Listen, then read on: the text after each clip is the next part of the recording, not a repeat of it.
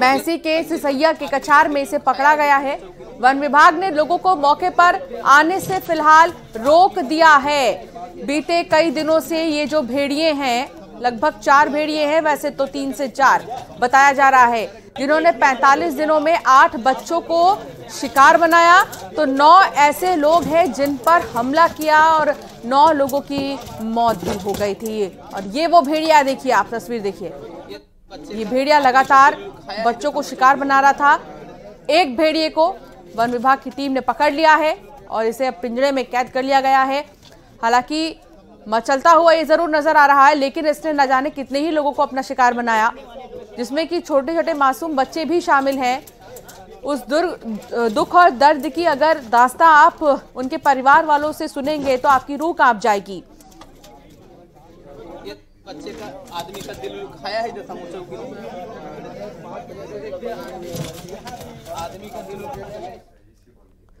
तो बहराइच में भेड़ियों का आतंक लगातार बना है। दहशत में लोग जी रहे हैं। जल्द से जल्द इस खुंखार खौफ से निजात दिलाने के लिए ऑपरेशन भी चलाया गया है।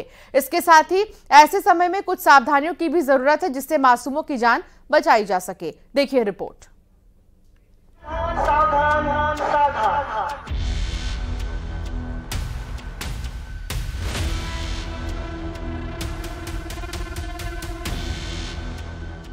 योगी आदित्यनाथ जी महाराज से मांग करते हैं कि इसकी टीम बना करके प्रदेश से कि पूरे घटनाक्रम की जाँच कराई जाए।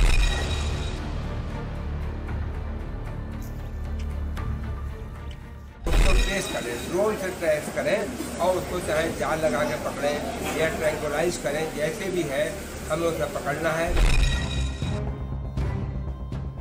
कई बच्चों को उसने खा लिया है दमखोर है। हम लोग उसी की सुरक्षा के लिए रात भर पहरा लगाते हैं। हमारे क्षेत्र के विधायक रात भर घूमते हैं। हम लोगों को सब लोगों को जागरूक करें अपनी सुरक्षा में डंडा भी रखना ज़रूरी है।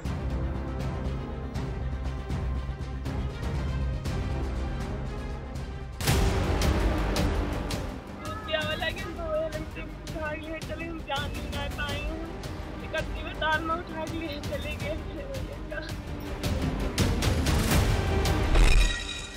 बहराइच में ऑपरेशन भेड़िया।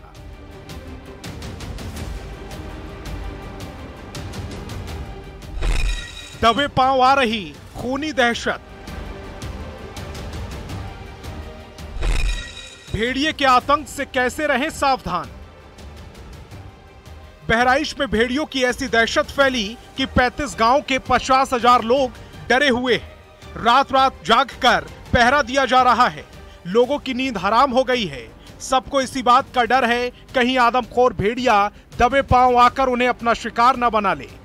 भेड़ियों को काबू पाने के लिए ऑपरेशन भेड़िया चलाया जा रहा है और ड्रोन कैमरे से जंगल में तलाशी की जा रही है। चार भेड़िए ड्रोन कैमरों में कैद हो चुके हैं।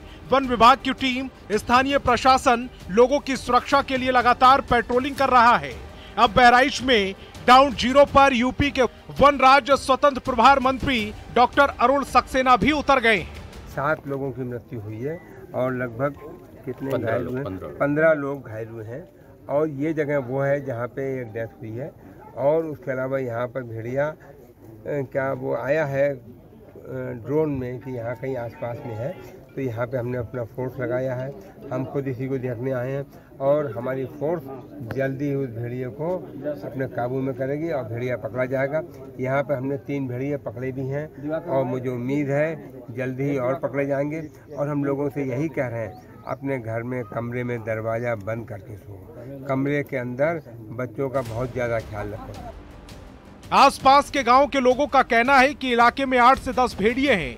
इलाके में एक के बाद एक हो रही मौतों से दहशत का माहौल है। 200 से ज़्यादा कर्मचारी सर्च ऑपरेशन चला रहे हैं। लेकिन फिर भी भेड़िए पकड़ में नहीं आ रहे। भेड़िए लोगों पर हमला करने के बाद खेतों में जाकर छिप जाते हैं। जिसकी वजह से बहराइच के करीब 35 गाँव के पचास हज़ार से ज़्यादा लोग खौफ के साय में जी रहे हैं। हालाँकि वन विभाग और जिला प्रशासन का दावा है कि जल्द आदमखोर भेड़ियों को वापस जंगल की तरफ़ खदेड़ देंगे। हमारी रेंजर से लेके और जितनी समझ टीम है, वो अपने पिंजरे लेके और ड्रोन के माध्यम से ये कोशिश कर रहे हैं कि कहाँ संभावित एरिया हो सकते हैं हम उन्हें पकड़ सकें।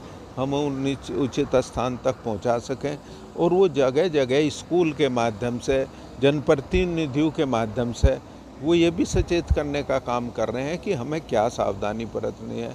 उनका हम सुझाव भी ले रहे हैं कि हमें क्या सुझाव मिल रहे हैं, उनके आधार पर भी हम काम कर रहे हैं। फ़िलहाल तो सावधानी ही बचाव है, क्योंकि कुछ सावधानियाँ आपकी और मासूमों की जान बचा सकती हैं। मसलन, रात में घर के अंदर रहें क्योंकि भेड़िए रात के समय ज़्यादा सक्रिय रहते हैं। इसीलिए रात में बाहर न निकलें। सुरक्षित बाड़े के ज़रिए पशुओं की सुरक्षा कर सकते हैं। रात में अगर बाहर जाना ही पड़े तो अकेले न जाएँ। समूह में रहने से भेड़िए आप पर हमला करने से हिचकिचाएँगे। सावधान रहें और बच्चों को बाहर न खेलने दें, क्योंकि भेड़िए आमतौर पर छोटे बच्चों और कमज़ोर जानवरों को शिकार बनाते हैं। ऐसी स्थिति में कुत्ते भी भेड़ियों को दूर भगाने में मददगार हो सकते हैं। आदरणीय मुख्यमंत्री जी, इस प्रकरण को लेकर बहुत गंभीर हैं। उन्होंने अलग अलग लोगों की स्वयं भी अपनी टीम लगाई है। आज हमारे आदरणीय मंत्री, मेरे सीनियर अरुण सक्सेना जी भी बहराइच में मौजूद हैं।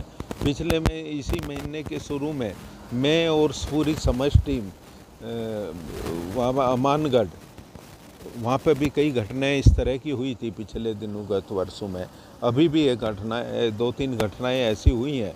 उनको लेकर हम सब ज़िले में गए थे, बिजनौर में गए थे। जगह जगह हमने एक समारोह किए, लोगों को सचेत करने का काम किया। बहराइच में जिस जगह पर सबसे ज़्यादा भेड़ियों का आतंक है, वो तराई वाला इलाका है, जो घने जंगलों से घिरा है। स्थानीय लोगों के मुताबिक आठ से दस भेड़िए इस इलाके में घूम रहे हैं। जो मौका मिलते ही अटैक कर देते हैं। पूरे इलाके में भेड़ियों का आतंक इस कदर है कि लोग रात भर सो नहीं पा रहे।